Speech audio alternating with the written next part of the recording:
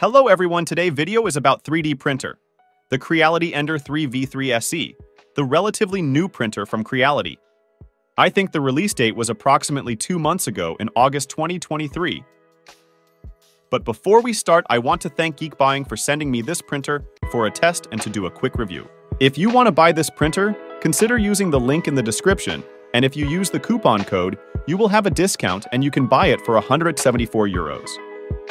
Without further ado, let's get into it with the unboxing. In the box, we have the printer nicely packed.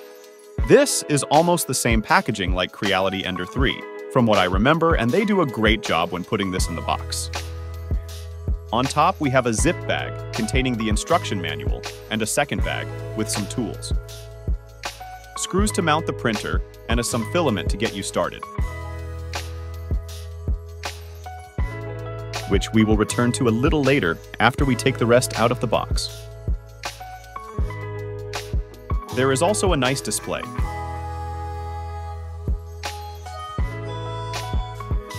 The power cable and the spool holder.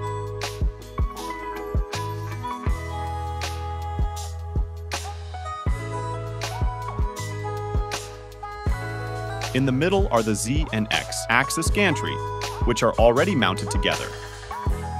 Basically, the printer consists of two parts, which makes its installation beginner friendly.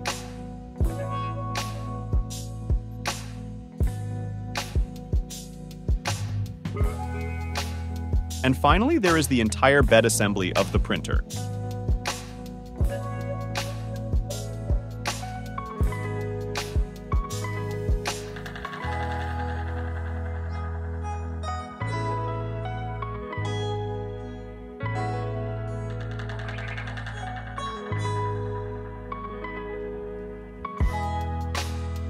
In the zip bag, you will find the installation manual, along with the warranty and some stickers in case you want to customize your printer.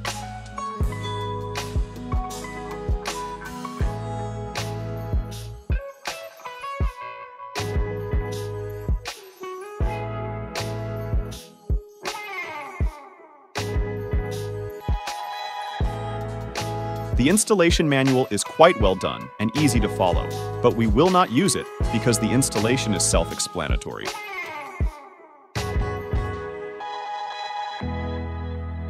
And we also find some kind of unclogging tool or something similar. However, it is a bit thick for an unclogging tool. Not sure where you could use this tool.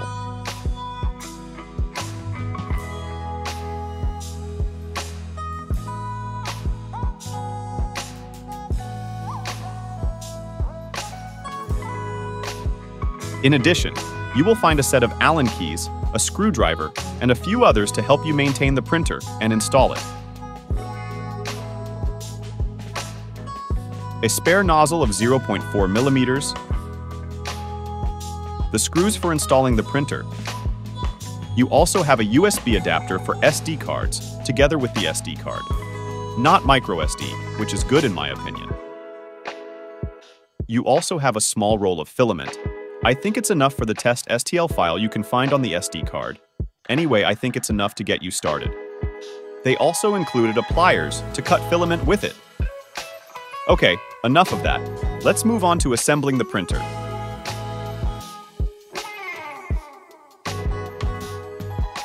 Assembling the printer is very easy.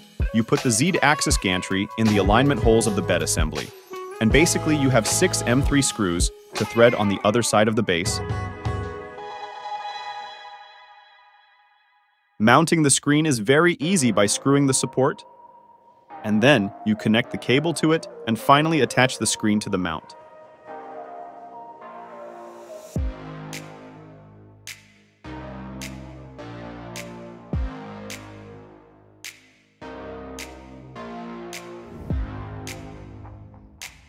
and the only thing left to do is to connect the cables for the motors of the Z and X axes and the extruder.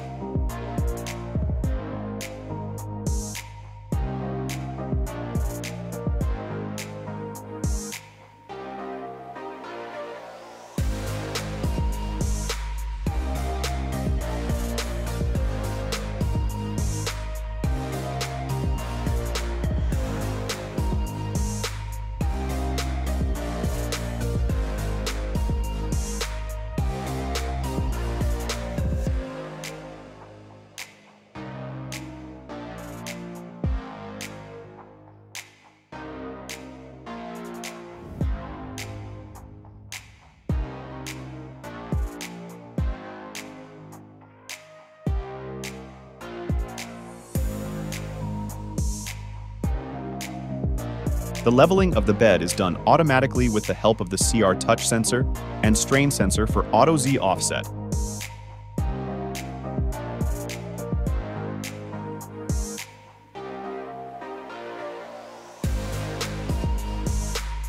After you have opted for self-leveling, you have to wait until it finishes. This could take some time, because the printer first heats up the nozzle, after which he cleans it and then sets the Z offset.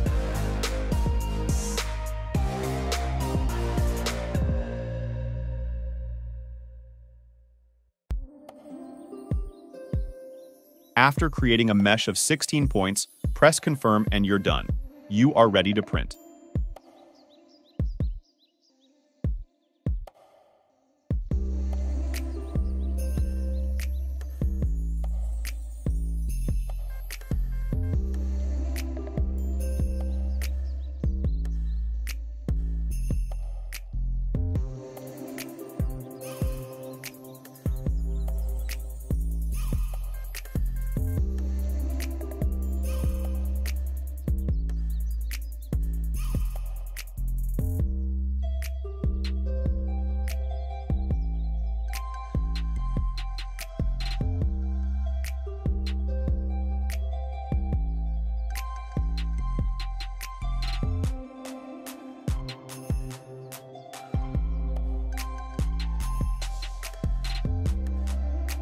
The y-axis now uses two shafts with linear bearings, which makes it much more stable and more suitable for fast printing.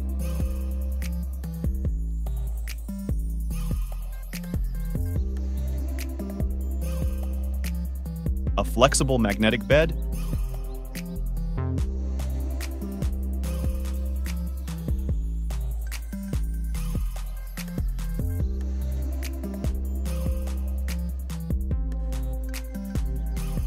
dual Z axis synced by belt. The tension of the belts of the Y and X axis is fully adjustable. The X-axis motor is mounted inside the Z gantry, which makes the printer more compact. The extruder assembly is direct drive. It is the Sprite extruder, which makes it useful for printing with PLA PETG, and TPU filament.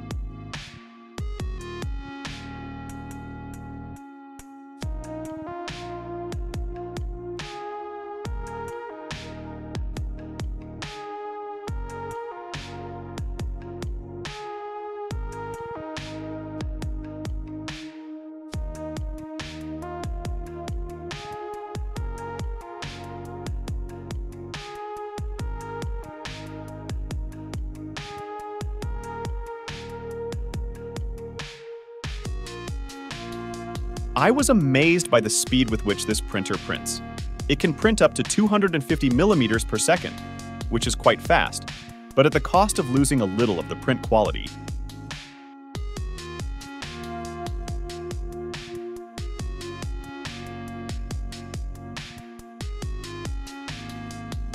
But not by much, it still makes perfectly usable prints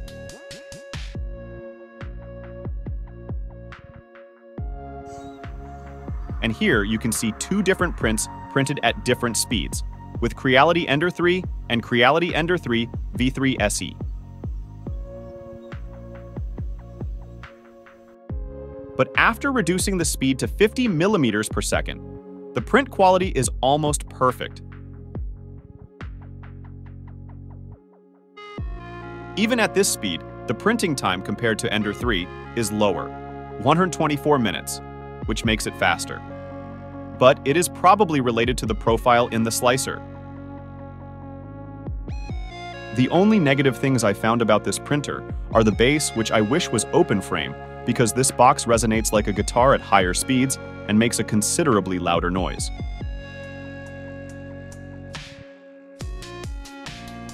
For the Z-axis gantry, I would have liked it to have a more solid base, because it causes vibrations at higher speeds. And for the lead screws nuts Creality, could have used bronze nuts instead of plastic. But all in all, this is a very good printer, especially value for money. Which makes it the perfect printer for beginners. If you enjoy this review, Please consider giving it a thumbs up and subscribe for more videos. Share your thoughts in the comments section below. And don't forget to use the link and the coupon code in the description if you want to buy this printer.